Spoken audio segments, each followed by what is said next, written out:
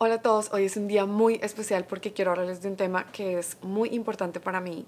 Este tema lo he tenido como un nudo en la garganta ya por bastante tiempo y creo que ya tengo que, tengo que compartirlo con ustedes. Para eso vamos a utilizar dos minutos de nuestro tiempo, así que empecemos. Hoy quiero hablar con ustedes de una comunidad que para muchas personas pareciera no tener similitudes con muchas otras comunidades y es la comunidad LGBTIQ. Creo que la forma como nosotros crecemos afecta nuestras creencias, nuestros puntos de vista, la forma que comemos, que nos vestimos, pero llega un punto en nuestras vidas que tenemos que tomar la decisión de saber qué pensar, cómo pensar, cómo hablar de esas cosas. Y creo que cuando ponemos todos esos puntos de vista sobre la mesa, nos damos la oportunidad de aprender, de enseñar y de crear una conversación que puede traer mucho más que eso, puede traer amistades. ¿Cómo explicarlo? Creo que la forma más fácil de explicarlo empieza con el verbo ser. Antes de que mis amigos tuvieran que encontrar una palabra que los describiera, lesbiana, homosexual, bisexual, ellos eran, existían, ya estaban presentes. Y sí, yo creo que Dios nos creó hombre y nos creó mujer, pero también soy consciente de que este yo no está solo en este mundo. Hay muchos yo que creen diferente, ven las cosas de un punto de vista diferente, se sienten diferente. ¿Y quién es este yo para juzgar o sentirse más que esos otros yo.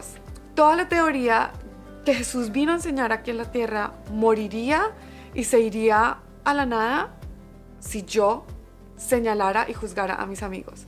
Con esto quiero decir que todas las personas tienen un trayecto diferente a Dios y se me está acabando el tiempo, pero Creo y estoy segura de que todas las personas en algún punto de su vida se encuentran con Dios, de X o de Y manera.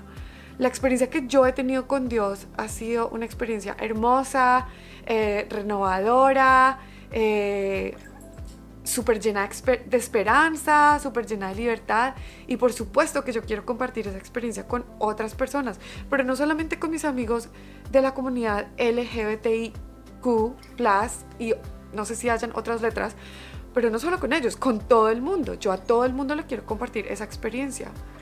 Así que a todos mis amigos que hacen parte de esta comunidad en su mes, quiero recordarles que hay dos palabras muy importantes que me unen a ustedes.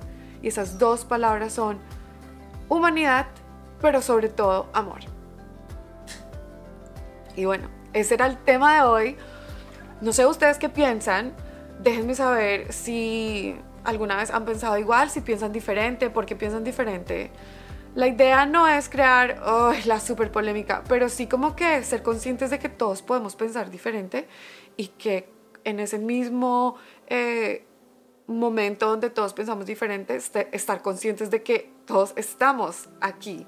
Así que tenemos que como que compartir ese, esa existencia de alguna forma. Si les gustó este video, por favor, por favor, compártanlo en todas sus redes sociales, denle un me gusta y suscríbanse a este canal. Si no se han suscrito, sean parte de esta familia tan linda, gordita y bonita.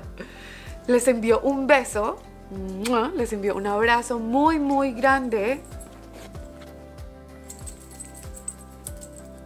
Ash también les envía un abrazo muy grande. Y bueno, ya saben, la próxima vez que vean a este amigo, vamos a tratar de hacer el tema más corto, dos minutos. Nos vemos cuando nos vayamos a ver la próxima vez. Bye.